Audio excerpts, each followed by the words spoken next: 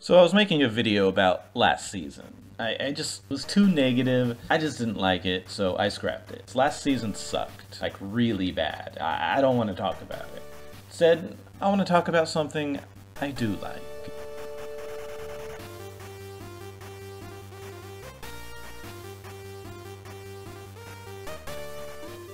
I want to talk about interplanetary war as shown in anime from grand strategy to planetary invasions to how battles work and the weapons used in, in various shows. I'll give my opinions on each aspect as well.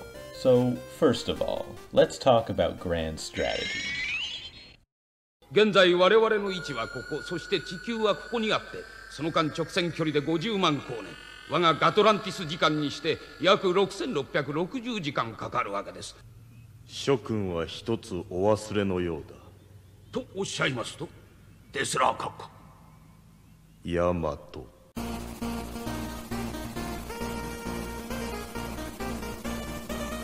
When I think of Space Wars, I imagine Alfred Thayer Mahan's naval strategy just on a grand scale.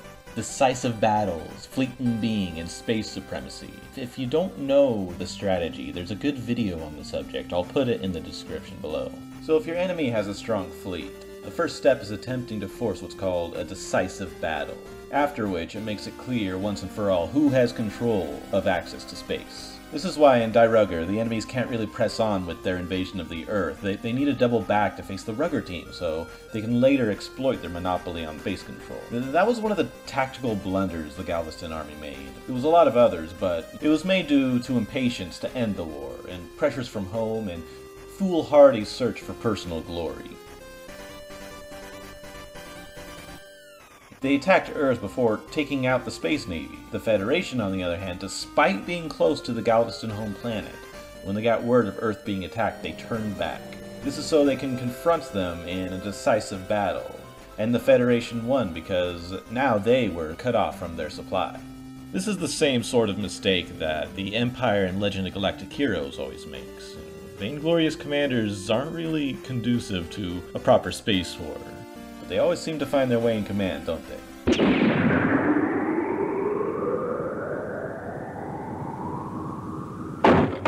I am the one and only God. If, for example, it was a small distraction force, so it could double back and surround the Rugger team with a hidden main force, things might have been different.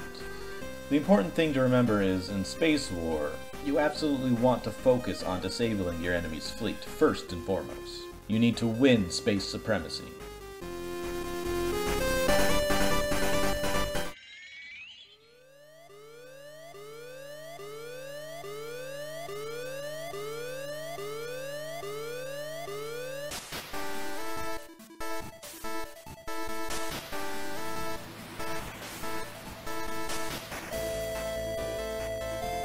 After naval supremacy has been won, Mahan theorizes a navy must push its advantage. A blockade can only do so much in war, uh, especially when what you're blockading is, well, the size of a planet.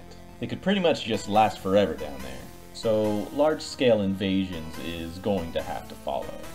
Unless, of course, you're going the genocidal route and dropping a colony or nuking the planet with radiation for habitation both of which can only happen after the initial space dominance is won, of course. But let's assume the aliens just want to conquer Earth as it is. Alien invasion is a staple of old anime, especially mecha. It's your bread and butter if you put on something from 70s or 80s. My favorite alien invasions include Dancouga, where it's a brutal war for control during various stages of occupation just all across the globe.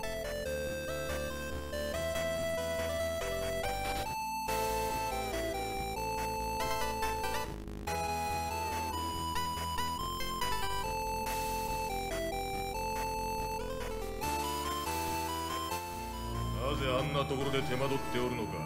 地球軍はすでに壊滅状態に追い込んだのですが市民の抵抗がかなり。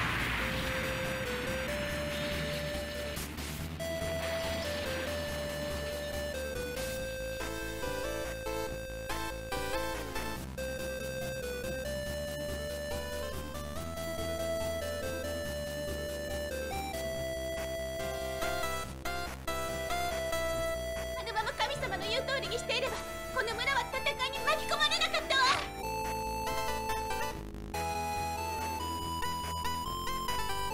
But otherwise, I'm always a fan of the aliens just being incredibly strong, to the point where there's really no hope for the heroes, but there's always a reason why the aliens just can't wipe out humanity. In Macross, it was due to fears of the protoculture of the Micrones. In Zambot 3, well, the villain was just toying with humanity.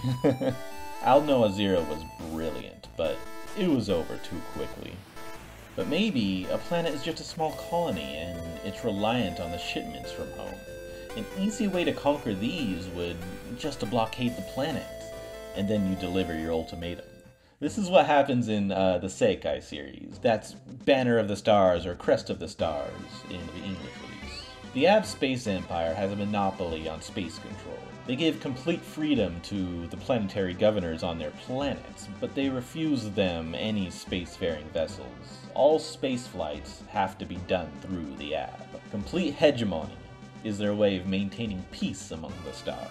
The main conflict later on becomes an alliance of free planets who oppose the Abh monopoly on space. The battles in the show are very interesting. It's, it's one thing to have flashy lasers and missile spams and giant robots with space swords and all that's really cool, but see, Seikai has subspace minefields and warp hole choke points. Seikai is being clever here, uh, due to the vastness of space, right? Most other shows just leaves it to an unrealistic impulse flight. It's not to say impulse isn't cool, it just means you need things like massive fleets and supply ships for an effective military force out there. That became a continued issue in, in Dairugger, where the, the supply and reinforcements fleets are always getting shot down by the enemy. It leaves the crew cut off from Earth, so they have to fend for themselves. It's a good thing they have a super robot made of cars.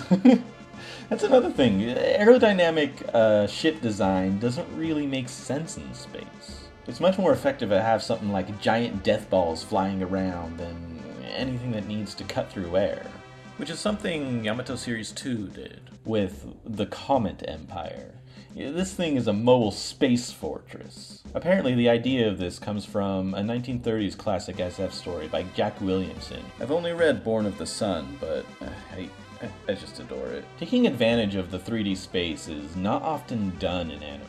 Usually they just line up and, and treat the battle space like it's an ocean. Legend of the Galactic Heroes is the worst offender of this the really the only thing that matters in that show is numbers and and getting to that OP semicircle formation, right? If only they knew the power of the semicircle. 君の案は誠に理にかなっておるがね。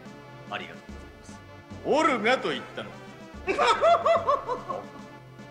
現代戦は力の拮抗した者同士のぶつかり合いだ。いわば相手を力でねじ伏せるやり方。一体君の戦法は誰を仮想敵にしておるのかね？能力が未知数の敵。例えばエイリアンの未来兵器などに対してです。エイリアンだと？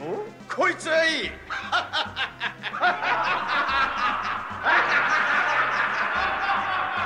Now, don't get me wrong, I love this show. The battles, though, are more just like theaters for the characters themselves to interact through like a fight in a musical, rather than any serious attempt at discerning space combat strategies. You have to have a level of suspension of disbelief while watching this show that you don't have to have in Seikai or even Dairugger. L- look, the car robot makes sense, okay? I swear. Legend of Galactic Heroes is more like a romance of space combat.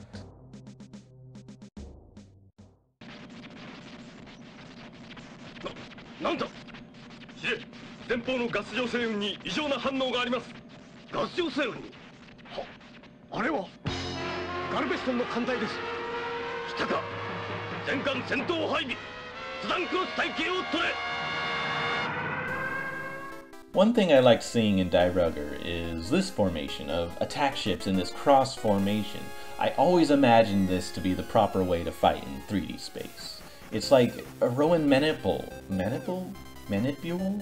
How do you say this? I'm gonna say Manipul. See this way, they're able to change formations easily while keeping in line for a maximum damage output. Dairugger is just one of my favorite shows about space battles. The whole anime is more like a spectacle of space war than anything else. I recommend it if this is your thing. I often forget there's even a super robot mixed in all this, but it's never unwelcome when it shows up. The, the robot battles are super cool.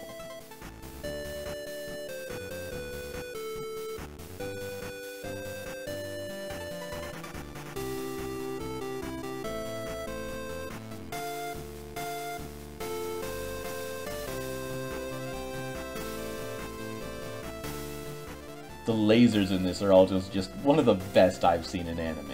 It looks so devastating. You know, it's nothing like the Hadou cannon or, or the solar ray thing from Gundam, but just for your basic lasers, they are super heavy compared to like Braiger. But lasers, man, lasers are so cool. It doesn't matter when I'm watching, when I see just death rays, it gets me excited. So I'm talking about lasers though, I have to mention Starship Operators. The lasers in the show work probably exactly how they should. The SF is really thought through. Instead of just exploding on impact, it actually heats up the outer hull until it bakes everything inside and, and catches something that explodes, you know. Never mind the whole explosions in space, just forget about that for now. I like how instead of just Star Trek energy shields that get damaged, what, what they call it is a heat shield as in it actually protects the ship from temperature, meaning it's built just to resist laser fire or solar rays, maybe. Enough contact with the super hot laser will drain it, and that's a really nice touch. As for lasers though, you really can't beat Zillion. One simple shot and it just vaporizes anything. It's really good if you just like scrappy action scenes. But if we're talking about hand lasers, nothing is more devastating than the Cosmo Dragoon. The cool thing about Gundam's beam rifle is that the power of the shot is meant for space battleships to fire. That's why it just melts through any Zaku. A mobile suit being able to wield something like this was an incredible feat to the Zeon. If it's such a powerful piece of hardware, of course you couldn't go portable with that amount of energy easily. Having limited shots adds to the sci-fi as well as adding tension to the battle scenes. They later solved this problem with refill cartridges, showing you how the compressed Minovsky high-energy capacitor technology develops during the war, because Dr. Minovsky, the father of Minovsky physics, defected from Zeon, and it's little things like this that makes the One Year War one of the most iconic and romanticized war in all of the otaku fandom. Tomino is really good at this kind of internal consistency and containing the power scaling of his robots. Ideon was only able to do the things it did because it was a source of infinite energy. The Xabungle and Gallier were as strong as they were just because they were the only mecha built specifically for combat. Every other mecha in Xabungle was, was just mining or construction equipment. So I like that kind of grounded reasoning in my giant death machines, but nothing gets quite to the level of minutia as the one-year war gets. 同じだ Tomino's masterful storyboarding only helps to solidify this verisimilitude, as well as helping you understand the action step by step, making it engaging and fun. It's the best example of a space war I know of for this. It even has a lot of points I've covered in this video. It has an alien invasion that's overwhelmingly powerful due to the mobile suits, which they only do after defeating the planet's space fleet in a decisive battle. You get to see how technology progresses through the war. One of the most important parts of Gundam is that these giant impractical robots are all just military equipment in the end. They're built for a purpose, to counter the enemy's equipment. That's why over the course of the show you see Zaku destroying tanks, the Fedi suits destroying the Zaku. Then the Fedi suits are countered with the Gouf and the Dom, which takes its toll on the crew of the White Base. And these are countered with the GMs being mass produced. Then the Zeon went out to mass produce big Zams. And then towards the end, both sides are looking into developing giant solar deathways at each other and exploiting new types, right? But I could go on and on about the escalation of this war, so I, better leave it there for now. As for Space War in general, though, I like for there to be realistic strategies, internal consistencies, a real use for the 3D space. I want the sci-fi to make sense and play a role. But somehow, at the same time, if we're talking about anime, I just want to forget all this verisimilitude nonsense. Realism is not really something I look for in an anime, but when something's sci-fi, I measure it with a separate stick. And so the same show might have two separate ratings for me. A good anime doesn't always make a good sci-fi, and a good sci-fi isn't always a good anime. There's something to be said for the distinction you want to make between the medium and the genre when evaluating something. But there are ways to bridge that gap. Talking about giant robots, mecha, there's a real romance to these things. It goes far beyond the scope of this video. I think a part of the history of mecha comes down to how the creators try and capture or represent the scope of this romance for their robots, and how they break through layers of realism to achieve a level of verisimilitude they are comfortable with. If you're interested in the history and scope of such things, well, please wait warmly for my future videos. Anyway, that's all I have for you right now.